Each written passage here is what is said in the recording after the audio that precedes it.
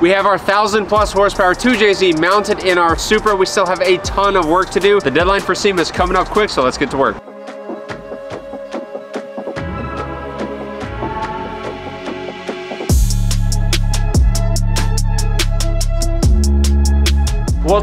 We're back with another episode of our Mark IV Supra and it's getting a little spicy around here. We have our fully built 2JZ in the engine bay with our massive Garrett turbo. Obviously there's a lot of work still to do so we're going to start working on some of the finishing touches. We need to get all of our pulleys, our AC compressor, alternator, power steering, all that on. I'm going to start working on the intake manifold, get our nitrous plumbed hey. and start finalizing some things on the intake manifold so we can mount that up for the final time and start wiring our fuel and plumbing everything. And Did you say NOS? NOS! NOS, baby. It's Hey. gonna be good. It is getting spicy in here. It is. It's gonna So- be very spicy. We're gonna be working on a lot of stuff in the background while Quinn is doing that work. We're also gonna be mounting a lot of the uh, Chase Bays reservoirs and those types of things because we've got our friend from Dyme PSI coming. He's gonna do all of our plumbing for us to help alleviate some of this time constraints that we have. It's his expertise, so we might as well leave it to him. So we're gonna start getting some of that stuff mounted so he can come in and connect point A to point B and we can get some fluids in this thing. It'll be good. Let's get started. Let's get into it.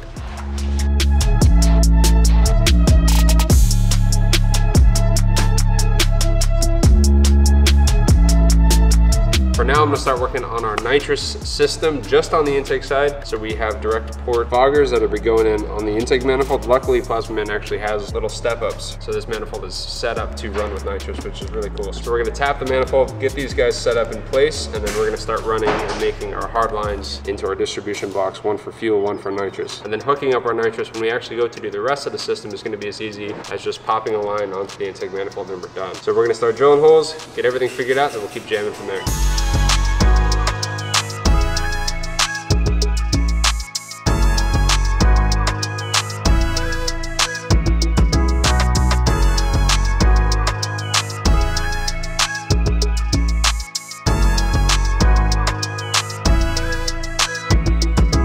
So I just finished drilling and tapping all of our holes in the intake manifold for our nitrous fogger. So this is a wet kit, so it has a port for nitrous and a port for fuel. So these are NPT and they actually provided the tap for them, which is really nice. So we're gonna get them set up like that. So what you wanna see on the inside is you wanna see both ports on the fogger open. So there's a little hole for nitrous and a little hole for fuel and you wanna be able to see both. So we got that set up on all of them. We're gonna clean the threads on these because they probably have a little bit of cutting oil on them and then we're going to put these guys in and start working on our lines.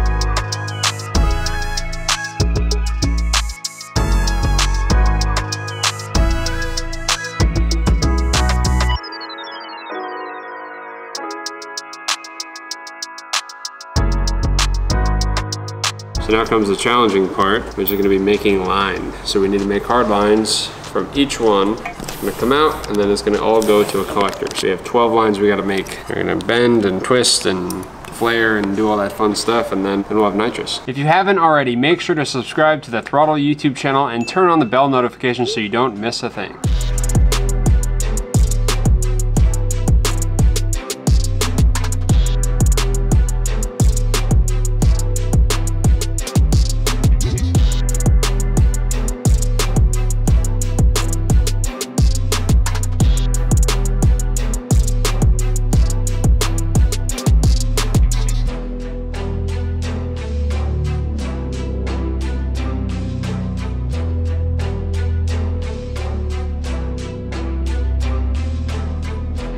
So I finished our nitrous, now I'm starting on our fuel. So I've got our first two lines, so this is cylinder three and four. Got that set up. I wanted to get this kind of close to the nitrous, kind of keep everything looking nice and tight. Let's keep going.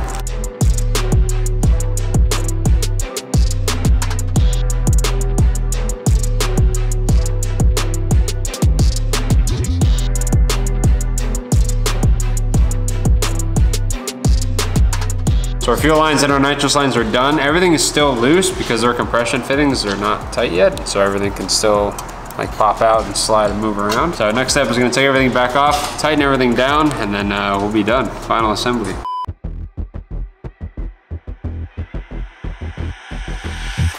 You can win our C6 Z06 Corvette. Head on over to throtl.com. Every dollar you spend on merchandise or car parts is going to be an entry to win this car plus $20,000 cash. Don't hesitate. Get those entries in today. I hope I'm handing you the keys.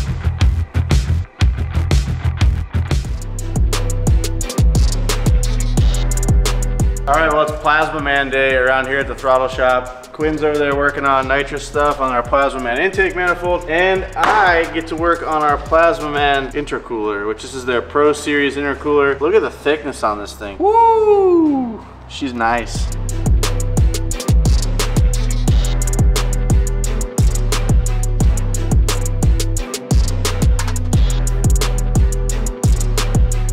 This is a drop-in radiator from CSF. It's meant to replace the factory setup. Just want to plop this in here because I want to get an idea of how everything's going to sit before we uh, start making our intercooler stuff. Man, it's nice. Pretty snug fit.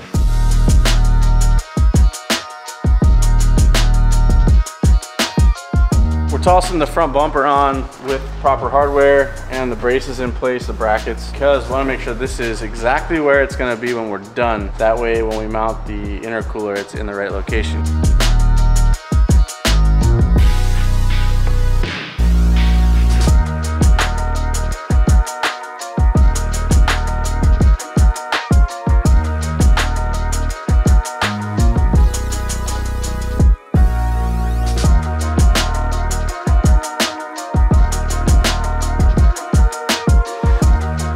Right, so what I just put in were these these bolts here that run across the core support and essentially what those are for is the factory under tray. But what's cool is this bumper, after the guys over at uh, Biggiez fortified it with our Rhino liner, it's actually really stable. So I can actually just take our intercooler, sit it in here where I want it, just start making base plates, which is pretty cool. Normally you'd have to put a tranny jack or something underneath it to hold it in place and have run the risk of it falling. This is, uh, this is quite nice.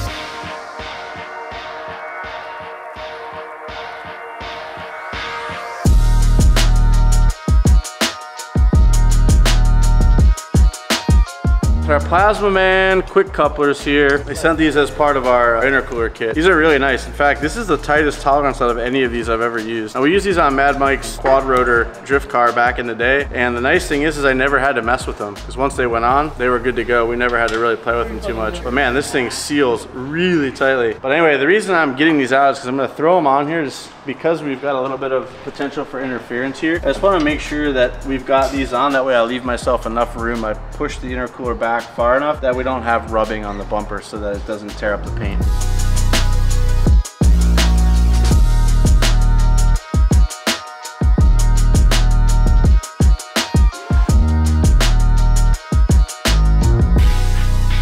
We're gonna use this face as our mounting surface.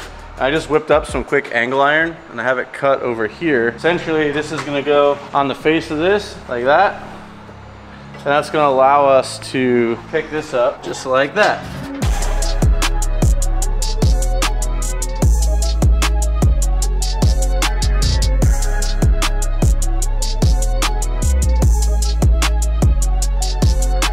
Getting close. She's still looking pretty ugly. Got a lot of dressing up to do, but we'll get there.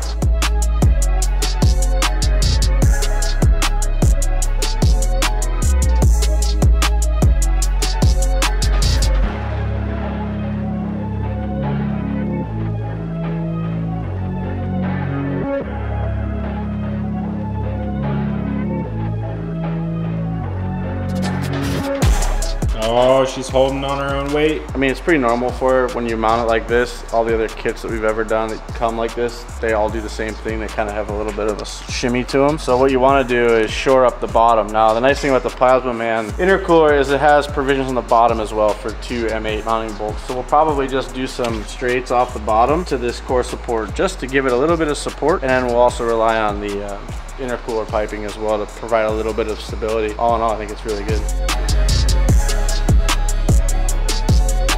Probably can't see what we finished already, but Ricky went ahead and threw some black paint and some matte clear on the bracket. Whoa, I can't. Can you even see that, dog? I got it. All right, you got long arms. Short torso, long arms. These buff boys. One thing, and that's it. Well, you got freaking half inch plate steel up top. Yeah, but you should have seen it swaying like a Tarzan palm up here. up there, yeah. Dang. Aluminum too, I like it. Yeah, that's perfect, dude. I think so. I was gonna make two, but I don't think it needs it, honestly.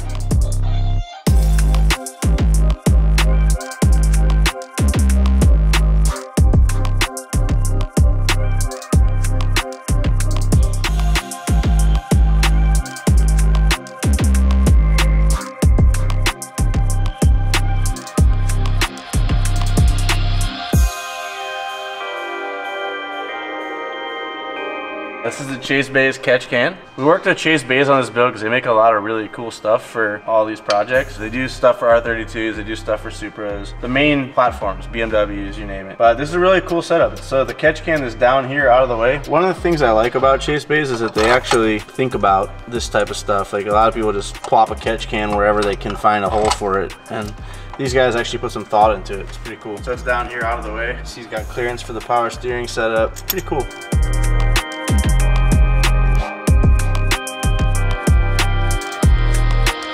The boys over at GReddy sent us their oil filter relocation kit, which is gonna pair nicely with our Chase Bays uh, thermostatic sandwich adapter, which Quinn previously tossed on the block here.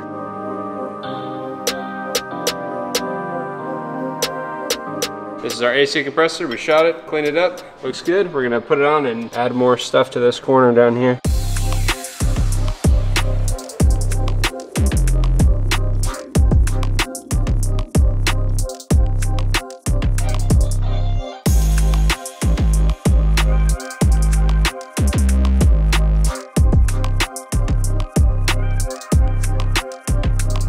So this is the other half of our Grex GReddy oil filter relocation kit. So this is the part that actually holds the oil filter. We have a brand new GReddy filter on there. We have the other side made on the block and we're gonna mount this kind of where it was, which was like right around here.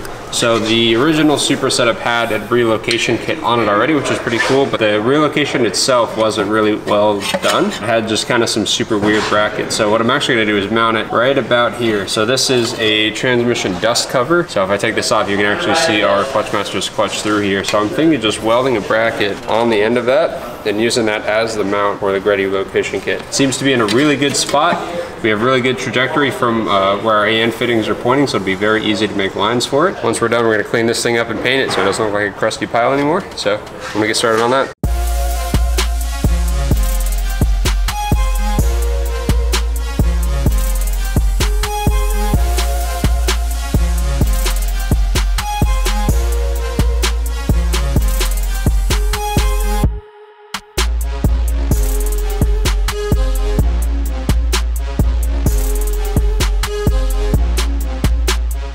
Bracket is drying, so I'm gonna go ahead and final assembly on this. We're gonna tighten down all of our ports, get some uh, thread sealer on there, get everything nice and tight, and then we'll install this onto the car.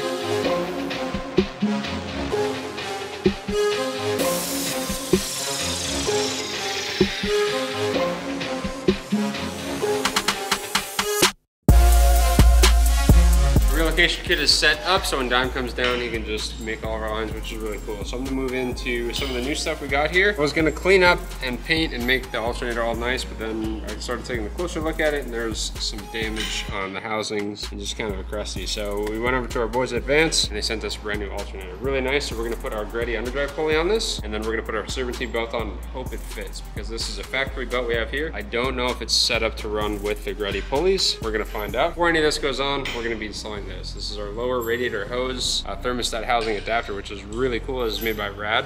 So it actually takes it and points it straight down. So it's gonna clear our turbo. Very nice piece. It's also already set up for a big Dash 20, which is gonna be really cool. And we're gonna be running a Mishimoto race thermostat with that. So I'm gonna get this all set up because it goes behind the alternator. And then we're gonna put our alternator on, gets our belts on, we'll be done.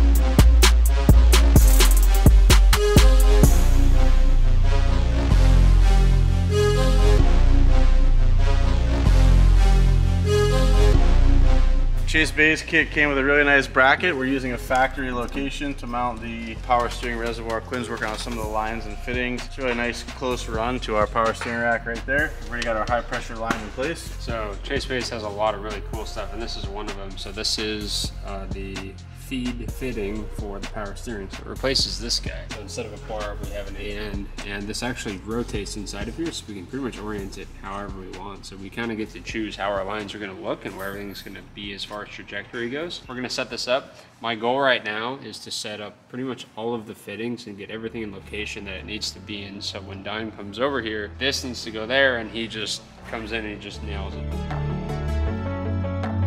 I'm gonna drop our intake manifold on, kind of mock put it in place and get our fuel rail in place. So we can start tackling things like our fuel pressure regulator. We have a fuel damper kit that's gonna be going on and a few other fuel things need to be in place. So I'm gonna drop the intake manifold on. We're gonna put it on with two bolts, get our fuel rail on, then start figuring out where all those things are gonna go.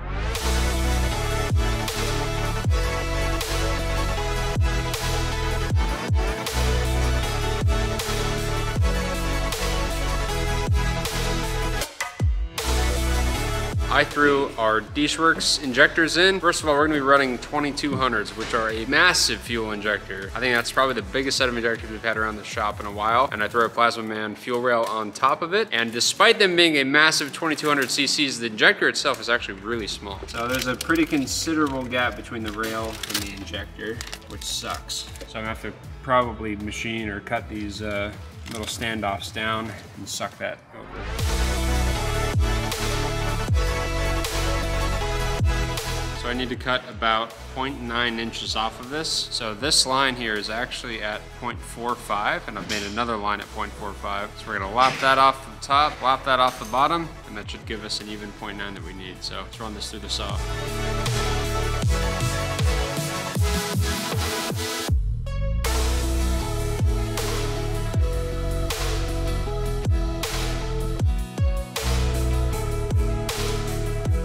If you guys didn't know, our Mark IV Supra is actually headed to SEMA thanks to Sunoco. We are gonna be hosting a meet and greet on Thursday at 11 a.m. If you guys are at SEMA, come check out the car, come meet the team. We'll see you guys there. So I've got our Plazmaman fuel rail fitted, which is really nice. Fitted onto our 2200cc DeatschWerks injectors. So we're waiting for all of our lines to come in, not our lines, but our uh, plumbing kits for this. And we're gonna have our fuel pressure gauge sitting right on the top right there. It'll be really nice clean. Now I need to figure out where I gotta put this. This is the biggest fuel pressure regulator I think I've seen in this shop so far. Absolutely massive.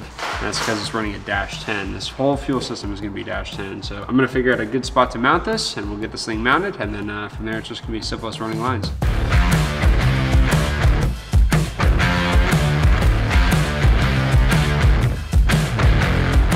So I'm gonna be making the mount for our fuel pressure regulator. So we have some aluminum bar stock here. So this is gonna give it just enough thickness to sneak that pressure regulator away from the wall. It's also gonna give me a good mounting point to mount everything from. So we're gonna cut this to length. We're gonna get it so the pressure regulator is offset a little bit. We're actually gonna rivnut the end of it. So we're gonna be rivnutting this to the face. So we're gonna rivnut the bar here. And then for the mounting side on the firewall, we're gonna be blowing holes through this and then the bolt will go through and mount to the back.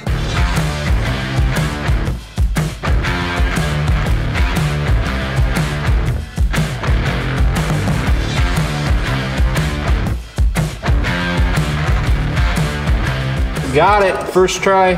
So I did that just to make sure that it's right. So now we're gonna oversize these. So this is actually gonna sit inside like that and we're gonna use much smaller hardwares. But I just wanna do that to make sure that it fits so I don't get it wrong and then keep working on the piece that's wrong.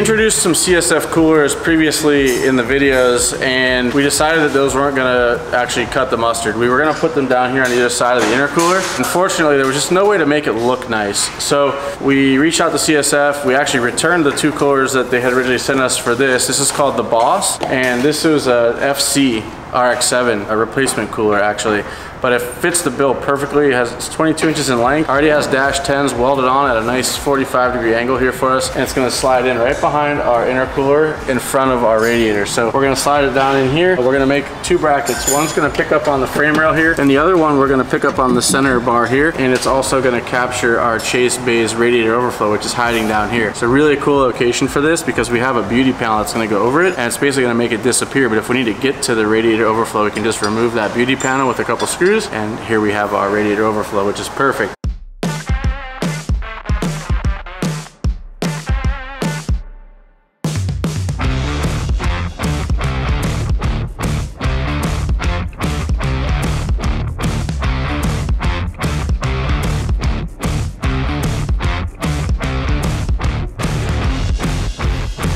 Thought I don't think I explained. This is actually a Chase Bays mount for one of their reservoirs. This is one of the ones that we weren't using, but it actually is coming in handy because we can repurpose it to mount our oil cooler, which is pretty sick. So it mounts on the frame rail like that, picks up our oil cooler here. Shout out to Chase Bays. They got some really cool stuff. Their little mounting tool or little mounting brackets are really nice too.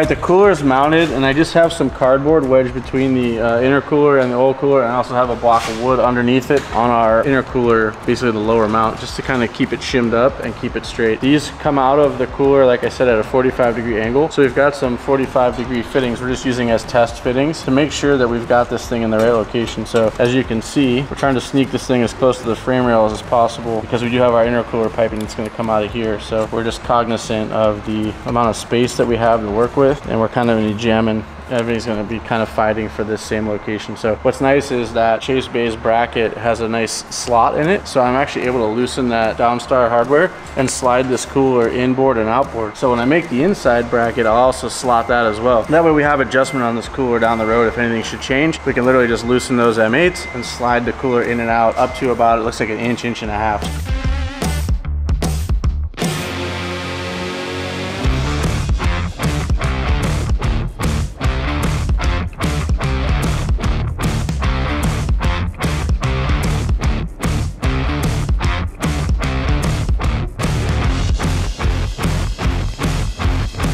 Bracket's done. Quinn burned a little TIG weld on it for us and I shot some paint. It's all dried up now. I'm gonna toss her in, see how it goes. Hopefully it goes the way it did when it came off.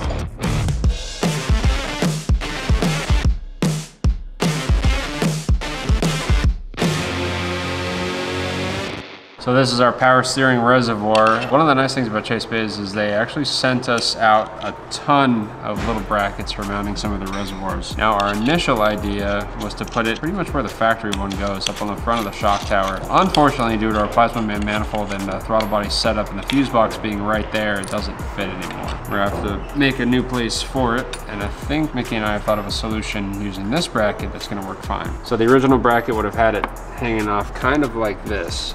Um, the stock JZ manifold rolls up and then comes forward pretty much over here. So it's really compact and doesn't really come this far out in the engine bay. But our Plazmaman manifold does. We're gonna sneak this kind of back here. We're gonna have to bend this bracket up a little bit, sneak it slowly but surely, get it mounted up back here. So this will keep kind of everything, all the fluid reservoirs that you're really gonna see back in this corner, which I think is really cool and it's gonna make it nice and clean. So I'm gonna get to modifying this and then uh, we'll mount it.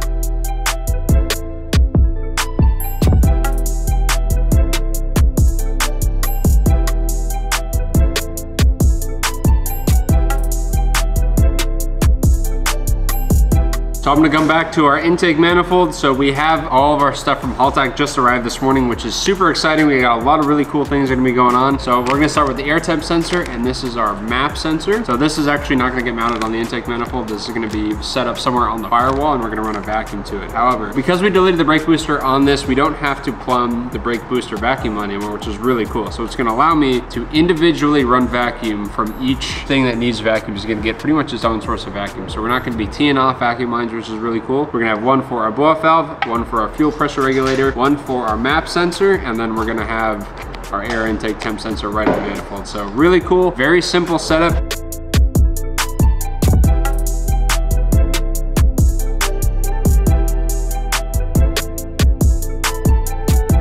We're here with Brendan from Dyme PSI and he's brought down a bunch of tools. We're actually gonna throw them on the Supra and have him tackle some of our fluid lines. So show me what you got and kind of what you brought to play with here. So we use the toolkit as an analog to measure the all different combinations of fittings we can use. So we have basically exact analogs of the fittings that connect to this dummy hose. You can try out different sizes, lengths, angles until you get the perfect Sick. fit.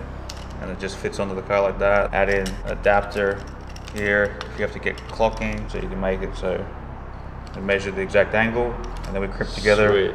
a finished one in PTFE. So you're pretty much making the lines mock, and then you just go back. yeah, but you can get it perfect. So if it's a, a 45 or a 60 makes a difference to how it looks or how it performs, then you can get it right the first time. Sick. We put it together so it comes to you fully finished and cleaned, pressure tested. So pretty much taking all the guesswork out. Yeah. Right. Nice. Okay. Speeding it up a lot. Cool, so we're gonna have him tackle our oil lines for our relocation kit as well as our oil cooler kit and some of the power steering lines and even handle the catch can. So we got a lot of work to do, let's get into it.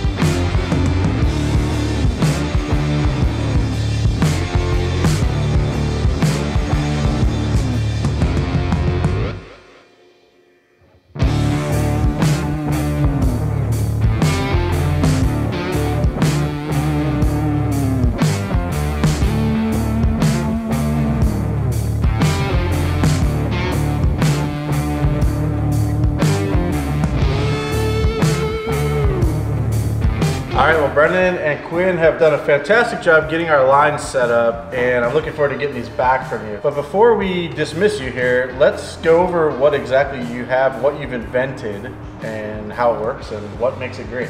Sure. So really, it's just a, a way to mock up and design your hoses and like fine tune it so you can figure out how everything routes around your engine bay, how you don't collide with other things, get in the way. So we had a few issues today with the way the car was set up. We just used the kit, made it longer or shorter, changed the type of fitting we used, and we're able to like keep everything tightly packaged and have no fouling on anything else. Thank you for coming down today. If you guys are interested in this, you have a shop and you're doing a lot of these type of lines, I highly recommend checking out his website. We'll leave that link in the description down below. And he's also going to be offering a discount code, which we'll also leave in the description down below for any of you viewers at home that would like to get these kits in your shop because they are advantageous and really cut down on time and effort. So thank you for coming by today. We look forward to getting the lines and we'll show you guys in the next video what it looks like all buttoned up.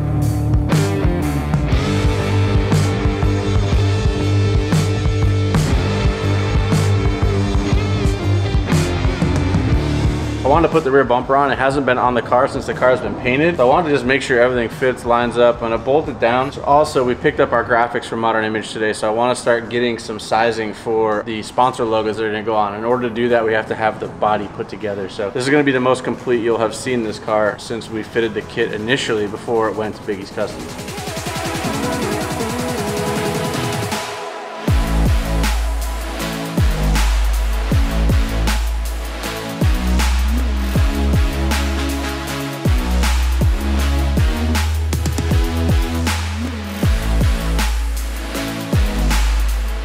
That's going to be a wrap on today's episode. It looks like we took a bunch of steps backwards because there's a lot less stuff in the engine bay. I don't think there is. We got a lot of things fitted. all of our pulleys are on. We got all of our chase bays stuff on. All of our GReddy uh, pulley kit is on. We got all of our fluid lines figured out with uh, the help of Dyme over here. We got our intake manifold started. Our nitrous kit is installed. We got a lot of sensors in there as well, so we're making really good progress on this car. And we got some body panels on. Yeah, we, we do have bumper on. The side skirts are on for fitment, and I want to tease out, but you got the livery in. I picked up the livery today. It's pretty exciting. It kind of like seals the deal on how amazing this car is going to be. And we got it directly from Modern Image themselves, who is just up the street from us. So they're the creators of the livery, and uh, they still make it to this day, which is pretty cool. Yep, so you guys will see that in a future episode. We still have a lot of work to do to get this thing fired up. We got to finish a lot of systems. We got to put a lot of things on, and then it'll run. So thank you guys so much for watching. As always, don't forget to like, comment, subscribe. We'll see you guys in the next one.